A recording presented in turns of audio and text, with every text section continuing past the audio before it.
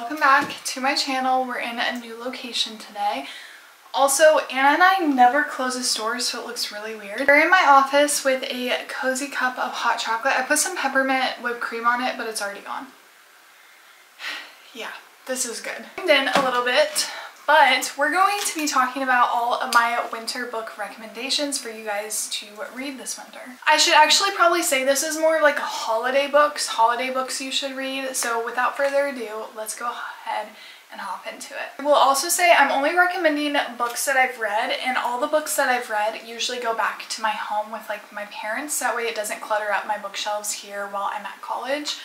Um, so yeah, we're just gonna kind of hop into it, put the image right here, and then just chat about why I think you guys should read it. The first book I want to talk about is called Lovelight Farms by B.K. Borison. I read this, I think, two years ago, rated it four stars. I thought this book is really sweet.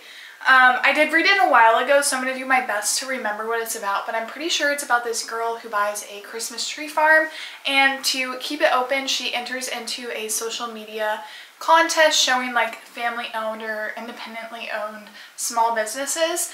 And in her proposal she says she owns it with her husband or her boyfriend something like that. And so her and her best friend fake date.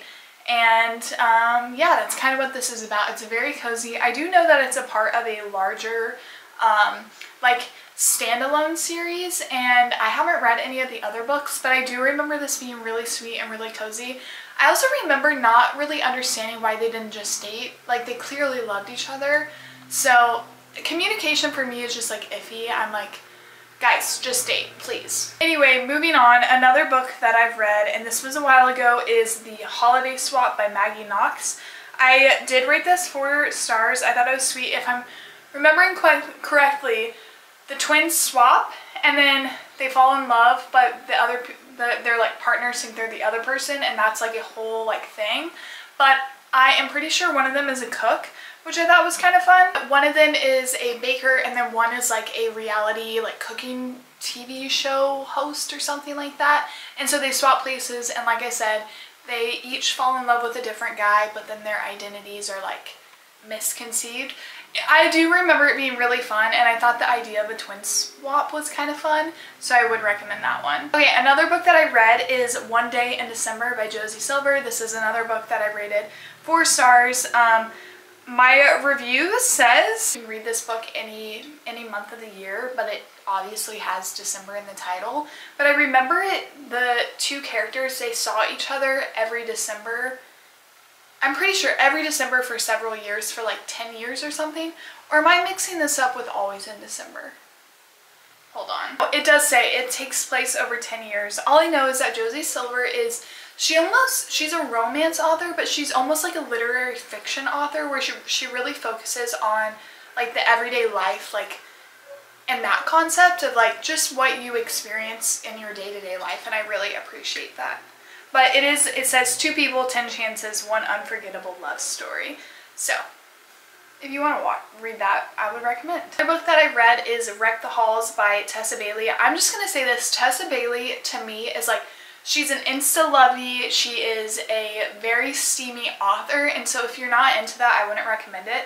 But if you're looking for a really quick paced, um, just fun romance that is going to make you like giggle and laugh, I would recommend her as an author. And so Wreck the Halls, if I'm remembering correctly, is about two friends who are the son and daughter of a, they used to be like a band of two people that broke up, but those two people are like super famous. They have these kids, they break up, never talk again. Uh, they break up the band, not like they didn't date. They break up the band and then um, these two kids are like thrust into stardom as like related to these two super famous like singers and she has a mega crush on him and she's just trying to figure it out. Pretty sure her name's Melody and I, I'm pretty sure. And so yeah, her name is Melody and then what's his name? Beat. So it's kind of punny but it was fun. I rated it three stars. So just recently read A Winter in New York by Josie Silver. I believe it came, oh it came out last year actually. I ended up rating it three stars. I thought it was a solid romance. I read it this winter. Did I already say that? Um, it is Again, she kind of tends to go a little bit more literary fiction-esque a little bit. There's definitely a romance, but you're learning a story about a family and their relationships and you're watching a girl come into herself. And I find that really fun. And yes, I rated it three stars, which honestly, maybe it's more like a three and a half. Um, the miscommunication was a little much for me in this one, but overall I still really enjoyed it and would recommend it. Oh my gosh, now we need to talk about my all-time favorite author for like Christmas-esque books. I think I've read three or four of her books at this point. I've read three of her books. The first book that I read by her was Always in December, and this came out in 2021. And I think all of them I've rated four stars, which is honestly, I feel like they should be five stars looking back on them because they gave me that five star feeling. They're just so, so freaking good. I don't even know how to explain it. Always in December, it's it's tragic. Like, I'm not gonna lie. It is tragic. It's a tragic love story, but I recommend it to everyone. Um, it's so beautiful. I'm pretty sure that these two people, they, it's kind of like they keep on having just these mischance. It's almost like um, one day in December where it's like they have multiple opportunities, but something is always going wrong. And then they finally get together and it's such a beautiful, tragic ending. I recommend it 100% if you can't tell. Next book that I read by her was One Last Gift, which is about a girl who is dealing with the recent passing of her brother and they had a really close relationship and something that he did was send her on scavenger hunts or like these fun little activities for her to do. And so before he had passed away he had created this big scavenger hunt and it's her dealing with the grief and like I'm pretty sure he had either a long-term girlfriend or a fiance or he was about to propose or something like that. And like just it's so interesting and she comes into the scavenger hunt with her her dead brother's best friend. And it's just kind of the unraveling of that relationship. And like I said, she has more depth to her books. And so this is like, it's, it's actually about grief, which I, it's like tragic.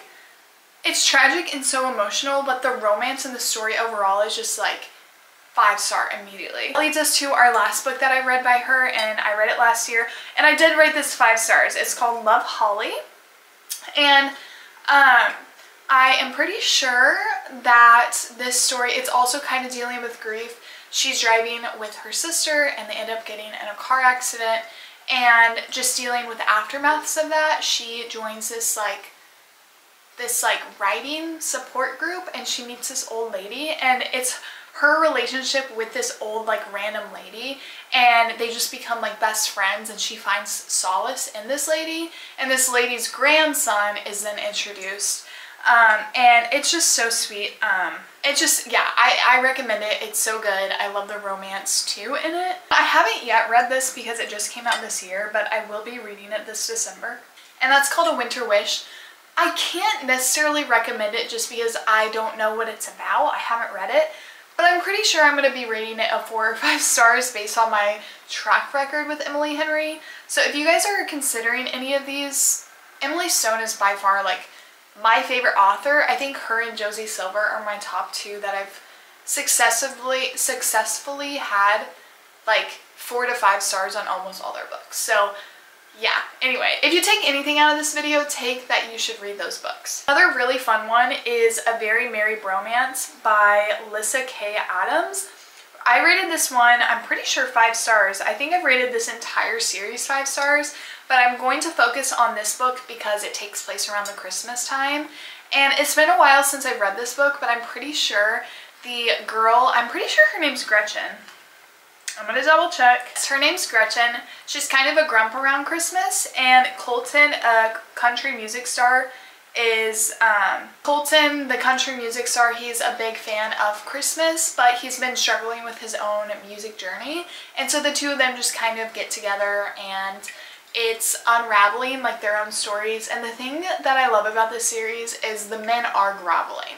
Like if you want yearning, if you want men trying their darnest, read this series. It hits every single time. This is a series that I really want to own physical copies of because I just think the series is so good literally think I recommended or I think I rated all of them five stars. This series is interconnected standalone so you don't have to read them um, at the same like time. I'm pretty sure I read this Christmas one first I either read this one first or I read it second. So I read it out of order but I would recommend it. This is another one I read this year. If you guys are looking to get your Goodreads reading goal done by the end of the year, I would 100% recommend the Under the Mistletoe collection.